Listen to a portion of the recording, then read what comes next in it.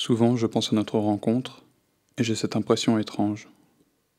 Comme au réveil, lorsque je peine à rassembler les fragments d'un rêve que je ne veux surtout pas oublier. Les images se bousculent, des sensations me reviennent, jusqu'au moment où le tout prend forme et retrouve un sens. Raquel descend l'avenue, à ses côtés un chien noir et fatigué. Je la regarde marcher vers moi, je me dis, mon Dieu, qu'elle est élégante, légère, sûrement une danseuse.